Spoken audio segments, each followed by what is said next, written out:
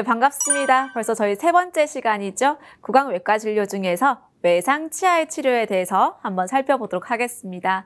어, 항목들 한번 살펴보시면 사실 환자분들이 치아가 빠져서 오시거나 또는 어, 입술이 찢어져서 오셨을 때 저희도 많이 당황을 하게 되는데요. 이러한 경우에 저희가 어떻게 산정하는지를 살펴볼 거고요. 어, 저희가 가장 많이 하는 것들 중에 하나가요. 이 탈구 치아 정복술과 치아 재식술을 조금 헷갈려 하시는 분들이 계신데요. 이런 부분들 정확하게 오늘 한번 또 짚어보고 가도록 하겠습니다.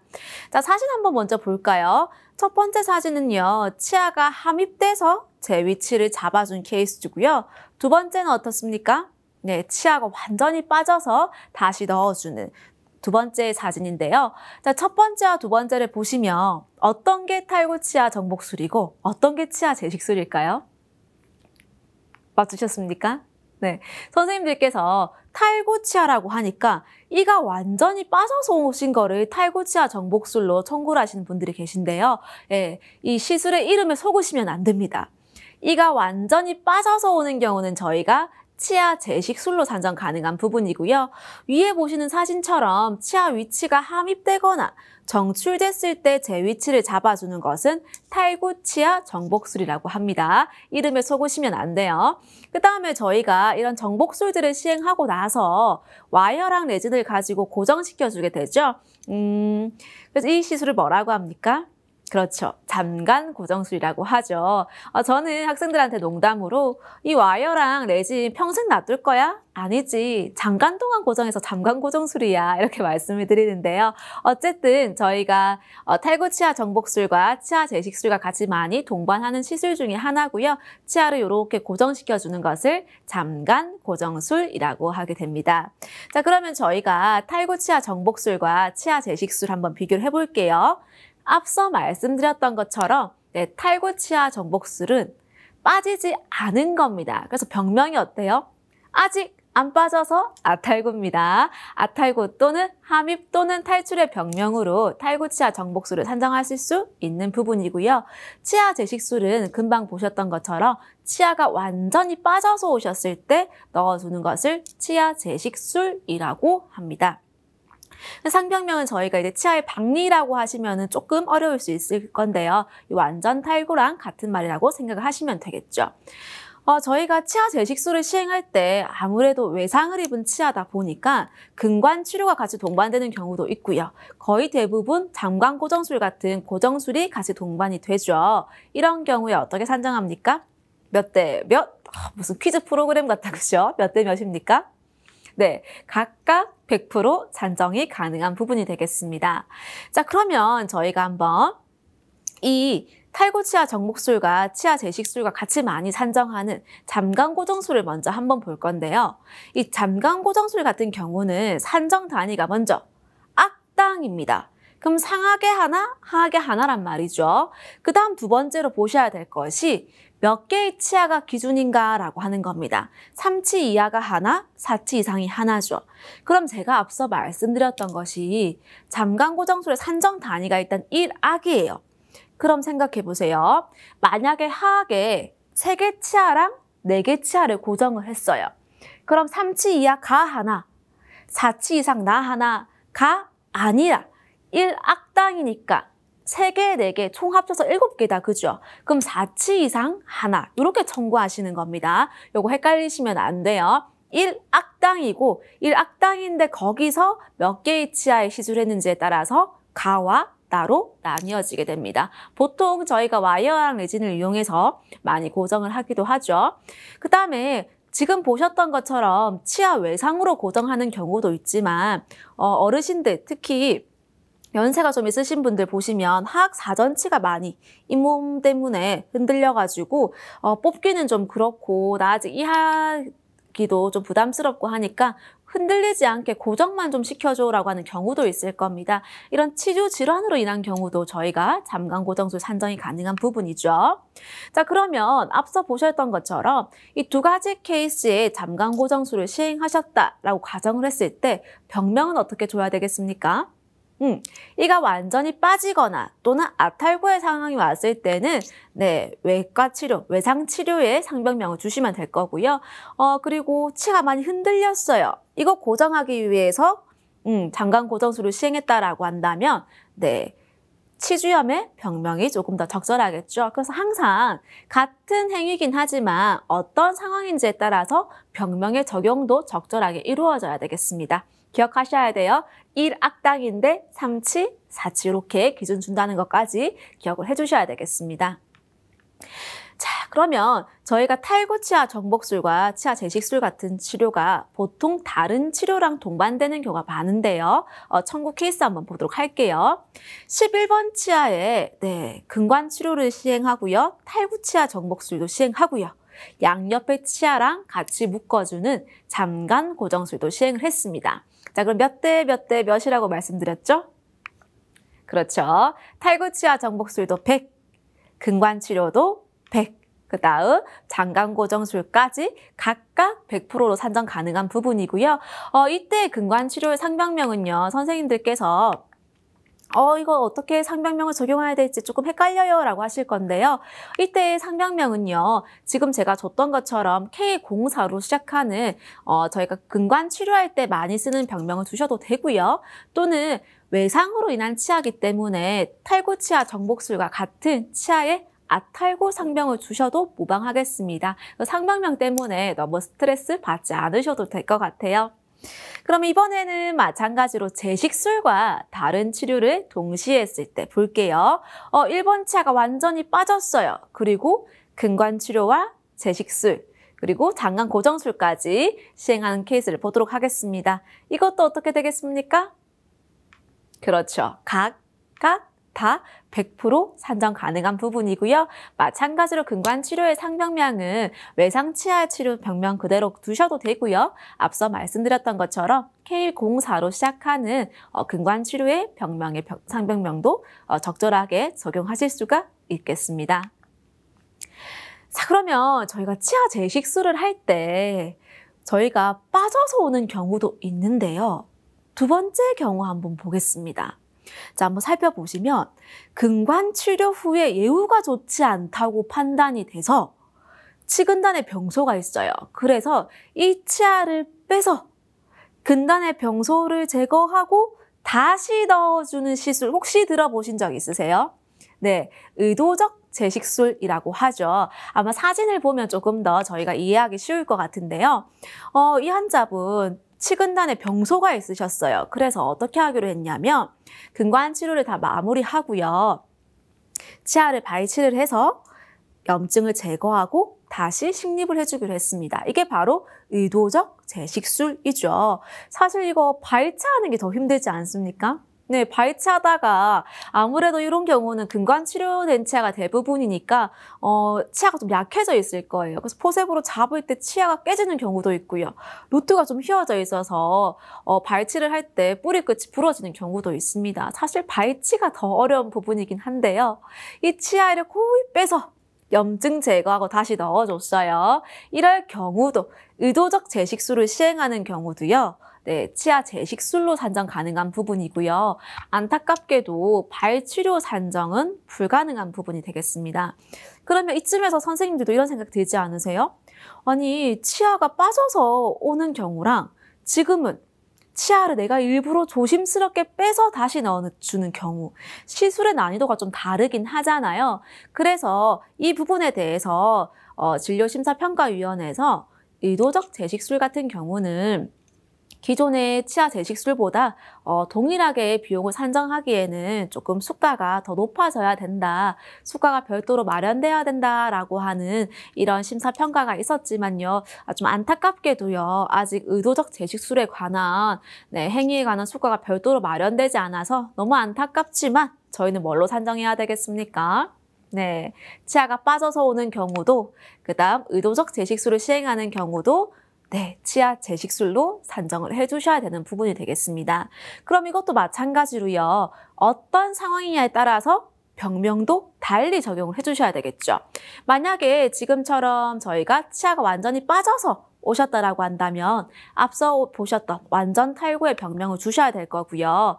어, 지금처럼 치근단에 병소가 있어서 제거하고 다시 넣어줬다. 의도적 제식술의 경우는요, 네, 뿌리 쪽에 염증이 있는 근단 치주염의 병명이 적용을 하시는 게 적절하겠죠. 그리고 이럴 경우에는 네, 의도적 제식술을 시행했다라고 내역 설명까지 동반이 되면 더 좋을 것 같습니다. 이럴 경우에는 방사선도 같이 동반이 되는 게 좋겠죠. 안타깝게도 발치료는 네, 받을 수가 없는 부분이 되겠습니다. 자, 그러면 저희가 어, 제식술, 그 다음 장강고정술 한번 봤는데요. 상고정 장치술 한번 보도록 할게요. 제가 상고정 장치라고 하면 상라고 해서 어디에 적용을 하냐면 상악에 산정이 가능한 부분이고요. 저희가 보통 그 구개부 쪽에 완전 매복치 발치할 경우 있죠. 그럴 경우에 부종이라든지 혈종을 좀 방지하려고 장치를 해주는 경우가 있을 겁니다. 보통 와이어랑 레진을 가지고 고정 장치를 시행을 하게 되죠. 그래서 이때 썼던 재료대 네, 받을 수 있나요? 네, 재료대 받을 수 없는 부분이고요. 인상체득 관료 별도로 받을 수 있는 건 없는 부분이고요. 어, 저희가 상고정 장치를요. 언제 청구해야 되죠? 본 뜨는 날이에요? 장착해주는 날이에요? 그렇죠. 장착 해주는 날 산정이 가능한 부분이 되겠습니다. 그러면 제가 어떤 경우를 봤냐면 이 상고정 장치 수가가 지금 7만 원 정도의 수가를 가지고 있는데 이게 보험되는 항목인지 모르시고 환자분께 5만 원 또는 10만 원 정도의 수가를 추가로 부담하는 경우가 있었습니다. 보험되는 항목을 비보험으로 받았을 때는 이미 비급여가 돼서 문제가 될 소지가 반드시 있죠. 분명하게 있습니다. 그래서 이럴 경우 어, 상고정 장치 같은 경우는 수가가 낮은 편은 아니에요. 이거 보험이 되는 항목이니까 환자분한테 보험을 적용시켜 주셔서 받으셔야 되는 부분이 되겠습니다. 앞서 말씀드렸던 것처럼 단순한 치료는 되는 부분이 아니고요. 어, 외과적인 시술 또는 음, 치주 수술인 경우에 인정이 가능한 부분이고요. 저희 같은 경우는 가장 많이 산정하게 되는 게 아마 상하 구개부에 과잉침 회복치 할 때, 완전 매복치 발치할 때 많이 산정을 하게 됩니다. 그럼 청구하면 한번 볼게요. 음, 상하 전치부에 어, 저랑 같이 공부를 하셨다면 기억하셔야 되겠네요. 과잉치를 발치하셨어요. 그러면 상병명 과잉매복치에 내역 설명 넣어주시고요. 본뜬 날 아니죠. 장착해주는 날, 네, 그 상고정 장치를 각각 100%로 산정이 가능한 부분이 되겠습니다. 재료대 별도로 받을 수 있다? 없습니다. 이미 비급여 안 돼요. 수가 괜찮죠? 7만 3천 원 정도의 수가를 가지고 있기 때문에 만약에 동시에 시술하시게 됐다면 환자분에게 각각 100%로 산정해서 받을 수 있겠습니다. 자, 그러면 저희가 이제 고정 장치를 했으면 고정 장치를 제거하는 경우도 있을 거 아닙니까? 아까 잠깐 고정술도 제거하는 날이 있을 거고요. 상 고정 장치도 제거하는 날이 있을 겁니다. 이 제거하는 날 고정 장치 제거술 산정 가능한 부분이고요. 1악당이기 때문에 최대 횟수가 몇 개까지 나올 수 있겠습니까? 그렇죠. 상악 하나, 화학 하나에서 두 개 산정, 두 개까지 산정이 가능한 부분이고요. 저희가 고정술 제거하면서, 즉 와이어 제거하면서 드레싱 같이 해주잖아요. 고정 장치를 제거하는 날 드레싱은요. 드레싱은 별도로 못 받습니다. 고정장치 제거 술료만 산정이 가능한 부분이 되겠습니다. 그래서 고정장치 제거 술료까지 산정 가능한 부분이니까 잠깐 고정술 같은 경우 제거해 주시고 드레싱 비용만 청구하는 것이 아니라 고정장치 제거술로 청구하시면 될 거고요. 제거술 하는 날 드레싱은 안 된다. 이렇게 기억을 하시면 되겠습니다. 자, 그러면 저희가 이제 열상봉합술이라고 해서 환자분이 외상으로 찢어져서 오시는 경우를 한번 살펴볼 건데요. 구강 내 열상 봉합술이 있고요. 구강 외 열상 봉합술이 있습니다. 구강 외라고 하는 건 어디부터냐면 네, 입술부터가 구강 외고요. 입 안은 구강 내 열상 봉합술입니다. 열상이라고 하면 좀 어렵지만 어, 쉽게 생각하면 열린 상처를 닫아준다고 생각하시면 돼요. 그래서 열상 봉합술이다 이렇게 기억을 하시면 되겠죠.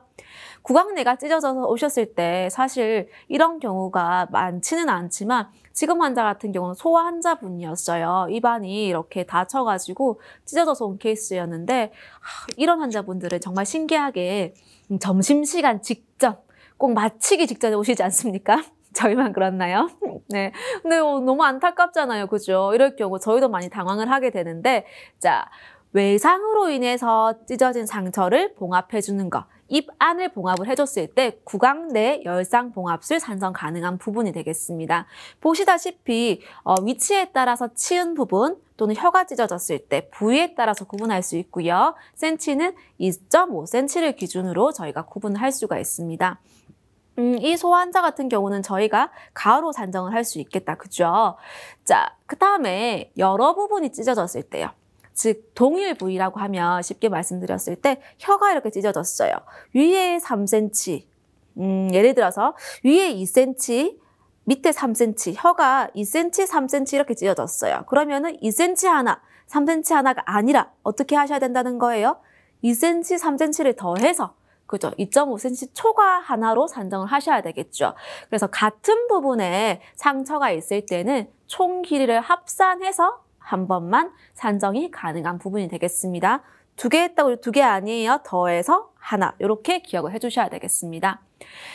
자, 실크. 열린 상처를 닫아주는 거기 때문에 실크 산정이 가능한 부분이죠. 자, 그러면 만약 이 환자가 내원했을 때 어, 치식이 별도로 없기 때문에 인접 치아의 치식을 주시면 되는 부분이고요. 자, 위치가 어딘지, 구강 내인지, 외인지를 보시고 그다음 몇 센치인지를 확인하셔가지고 구강 내 열상 봉합술 산정 가능할 거고요. 병명은 확인하셨나요? 네, 열린 상처를 닫아준다라고 말씀드렸다. 그죠? 부위에 따라서 지금 이 환자 같은 경우는 잇몸이 찢어졌기 때문에 잇몸에 열린 상처의 병명이 적절할 겁니다. 당연히 마취 산정 가능한 부분이 되겠습니다. 자, 그러면 이 환자 한번 볼까요? 네. 이번에는 구강 외 열상 봉합술입니다. 어디가 찢어지면요? 네, 입술부터가 구강 외 열상 봉합술입니다. 사실 이런 경우에 치과에 오기보다는 어디 많이 가시죠? 네, 성형외과 많이 가시죠. 네, 이렇게 환자분이 입술이라든지 어, 찢어져서 오셨다라고 한다면 저희도 산정이 가능한 부분이 되겠습니다. 아마 입이 찢어, 입술이 찢어지면서 입 안도 같이 찢어지는 경우가 많아서 치과로 종종 내원하시기도 하죠. 그럼 이 환자분 입술이 찢어졌어요. 이때 꿰매주는 거 구강 외 열상 봉합술 산정 가능한 부분이고요. 이 구강 외 열상 봉합술은요. 의과 코드 자2로 시작하는 창상 봉합술의 코드를 적용하기 때문에 치과의 마취 행위로는 산정이 불가능합니다. 이 말인 즉슨 저희가 마취를 어떻게 산정하죠? 마취 3종 세트 있죠. 행위료, 침륜 마취 또는 전달 마취, 의약품 관리료, 리도카인이죠. 근데 의과 코드를 준용해서 사용하기 때문에 이 침륜 마취의 치과 행위료는 산정이 불가능하고요. 어, 행위를 안 된다고 하니까 선생님들께서 의약품 관리료, 관리료랑 어, 마취 앰플까지 빼는 경우가 있습니다. 그렇진 않습니다. 치과 마취의 행위료만 빼시고요. 리도카인과 의약품 관리료는 산정 가능한 부분이 되고요. 실크 역시 산정이 가능한 부분이 되겠습니다. 자, 그럼 청구하면 한번 볼까요? 마찬가지로 근처 인접 치아의 치식을 클릭을 해주시고요. 구강 외는 1.5 에서 1.53, 3cm 이상으로 구분이 되고요. 자, 청구하면 한번 볼까요? 어떻습니까? 음. 뭐 하나 빼야 될 것 같은데요. 그다음 병명도 찾아보셔야 되겠죠. 네. 어떻게 하셨어요? 네. 입술이기 때문에 입술에 열린 상처로 병명을 주시고요. 그 다음 청구하면 쭉 보시면 제가 금방 말씀드려서 기억하실 것 같은데요.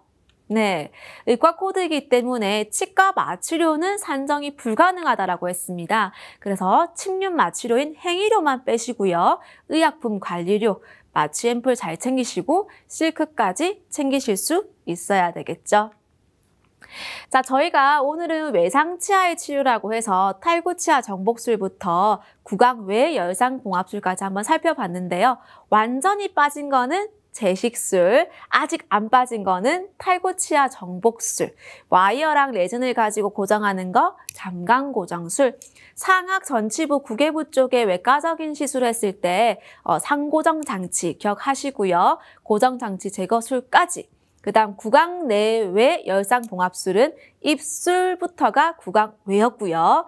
구강 외 같은 경우는 의과 코드이기 때문에 마취 행위로는 빼주셔야 된다라는 것을 기억을 해주시면 좋을 것 같습니다. 이 외상치아의 치료 당황하지 마시고 저와 오늘 같이 공부하신 만큼 잘 청구하시면 좋겠습니다. 이상 대한치과 교육개발원 강사 제정화였습니다.